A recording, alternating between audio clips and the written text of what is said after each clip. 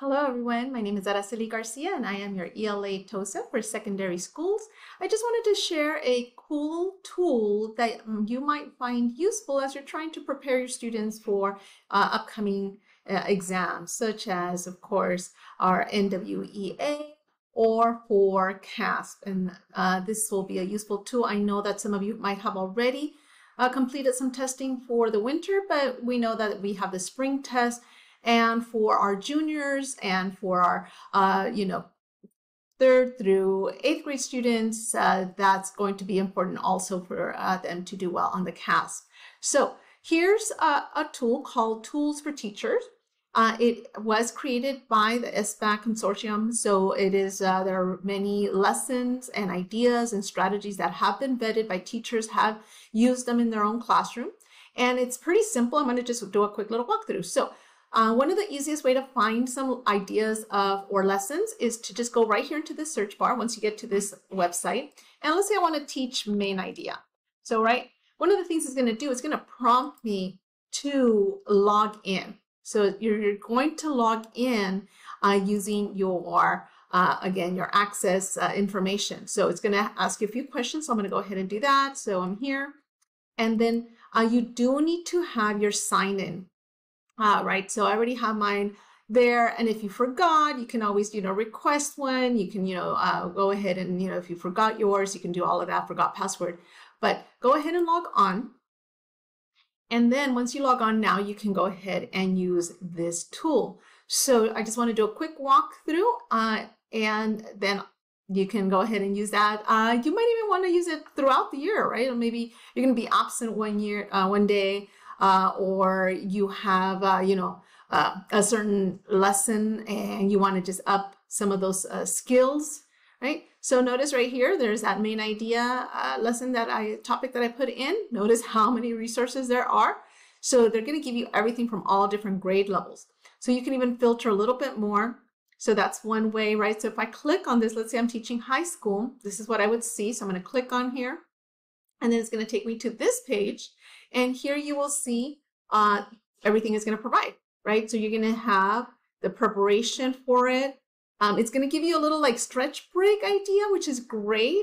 Uh, it's going to give you ideas for entrance and exit tickets. It's going to give you a very detailed lesson, step-by-step -step lesson plan. It's going to give you the handouts that you need, uh, even what students can do for uh, independent practice. So if I just kind of go through here, and uh, you can kind of read that. You can even post this up on your wall for the learning goal or maybe, you know, what you want them to be able to do by the time they leave their classroom.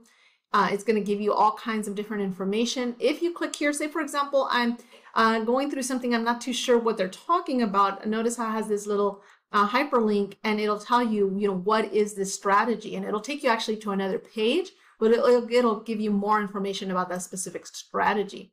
So here is, again, even tells you what you can do for your ELLs, um, tells you about other resources you can do. Uh, here's that again. This was kind of a cool one because it uses uh, a technique that's used in theater classes. Uh, then here's that step by step, right? It even delineates what is, uh, uh, again, levels of questions. Take a look here, the DOK 1, DOK 1 through 3. So we want to make sure that our students are getting to that higher level, but I need to scaffold them towards that higher level. Uh, here's again that independent practice. I wanted to show you the handouts that it has. So if I go here and I view what is their en entrance ticket, take a look, right? So this is an easy PDF.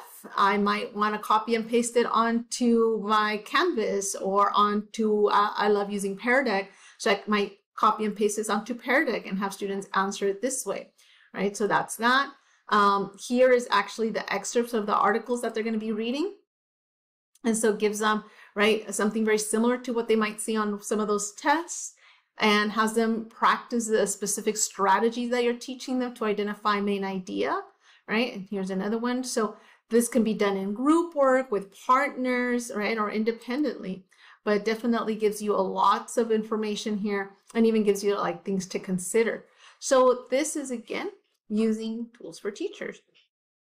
Okay, I also wanted to show you another place that you can find some uh, lesson plans and ideas, and that is here in the playlist. So if you click on playlist, you can actually filter a lot more. So I can go here, let's say I want to do ELA, and I'm looking for a grade, uh, say eighth grade, and then it's going to take me to a slew of choices now, right? So here, of course, it has all of them, um, and I can now filter. So let's say I want to do, um, so if I click on one of these, it'll bring up the lessons that I want. So right now it's giving me all of them, but I really want to do something that has to do with research. So I can go to research and I can even filter a little bit more. Let's say I want them to just talk, uh, look at uh, lessons for evidence. I can go that way. I can actually pinpoint a specific standard. But this is again takes me back to uh, eighth grade, how to use evidence, right? I can even look at a performance task. So once again, it'll take you here.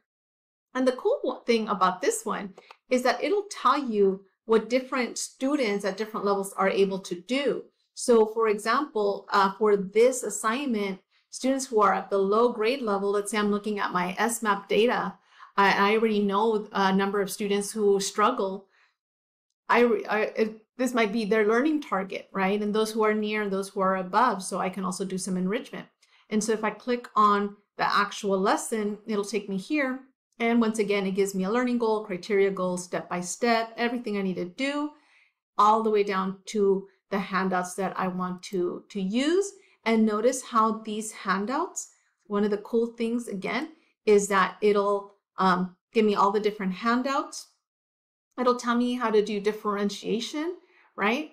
Um, and in some of these, even tells you like, okay, this is something you might want to use with your uh, below, um, you know, grade level, your near grade level, and your above and advanced. So um, really useful tool that I highly recommend, not just, you know, right before the testing, but maybe throughout. So hopefully that helps. Uh, and if you have any questions, you can always email me. Again, this is Araceli Garcia, and I am your ELA TOSA. Thank you.